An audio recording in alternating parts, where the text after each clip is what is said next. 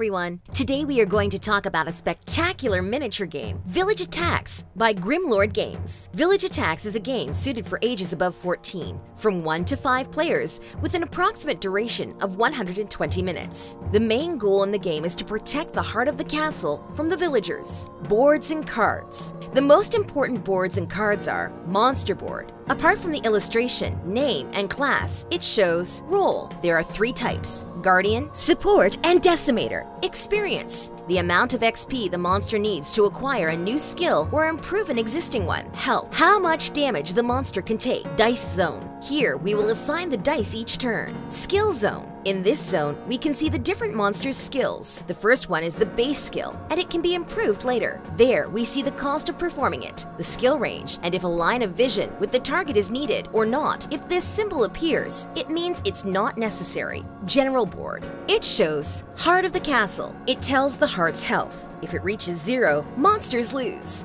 Village morale. Each time a villager dies, it drops one point. If a hero dies, then it drops two points. Village events. During the villagers phase, the value increases as many numbers as monsters are in the game. When it reaches certain values that the mission tells, it triggers an event in the village. Traps. This zone is for setting traps. Monsters can buy them from here. Hero sheets. They are more powerful villagers, and so they have their unique characteristics and skills. We can see on their sheets their health, how many zones the hero can move, damage caused, range of attack, skill, class. The monster who shares class with the hero will be his nemesis. The hero will cause plus one damage to that monster.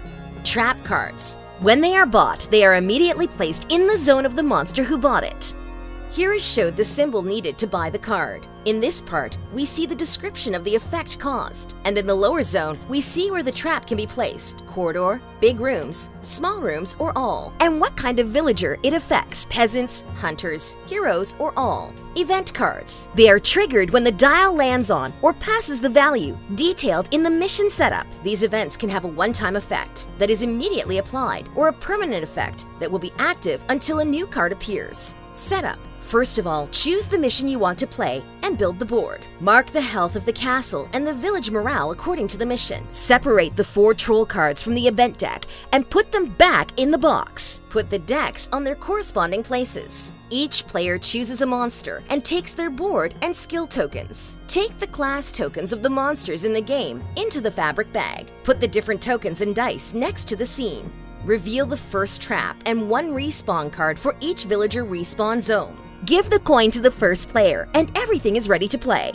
Game Round. Each game round is divided into three phases. Monsters phase. The active player roll the dice and assign them to the different actions depending on their results. With this symbol, the monster causes one melee hit. With this one, one hit at distance 1. This symbol serves to activate some skills or healing wounds and altered states of the monsters in the heart of the castle. This other one makes the villagers further away from the castle move forward one zone. This movement doesn't trigger any trap. They are immediately discarded. This one blocks up to 2 damage points. And with this symbol, the monster counterattacks the villager, causing the same amount of damage received. In defense, the defense and retaliation dice are assigned. Each shield dice blocks 2 damage points, but they can't be combined to block one attack of 4 damage points. In reserve, any symbol assigned is reserved for later using. At the end of the turn, the player receives a token. With the assigned symbol, you roll the dice less for each of these tokens. In movement, any type of dice is assigned.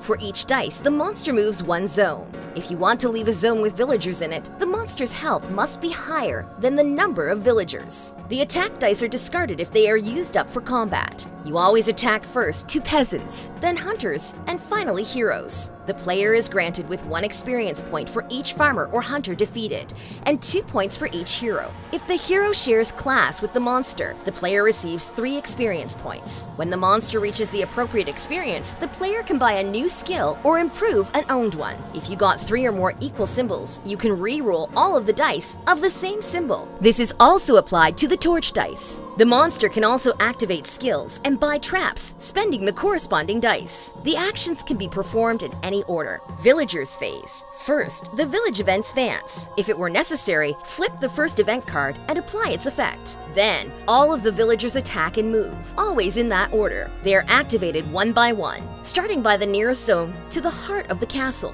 Within the same area, the peasants are activated first, then the hunters, and finally the heroes. The priority order in the villagers' attack is Nemesis, Heart of the Castle, monsters within the same zone, and monsters in the adjacent zones. If there are different options with the same priority, the players will reduce the options to two and toss a coin to decide. If a monster dies, all of the experience, state, and symbols are discarded. In the next respawn, the monster appears in the heart of the castle, and the heart receives two damage points. If the heart was destroyed with this damage, the monster doesn't appear. When a villager enters a zone with traps, this is triggered if it was the proper type of villager. By last, new villagers appear. Draw a respawn card and place the villagers shown at it in a respawn zone chosen by the players. The mission indicates the level of respawn at each moment. When hunters appear, a class token is taken out of the bag. This shows the hunter's class and becomes the nemesis of the monster with the same class. Cleaning phase. In this phase, all of the used traps are discarded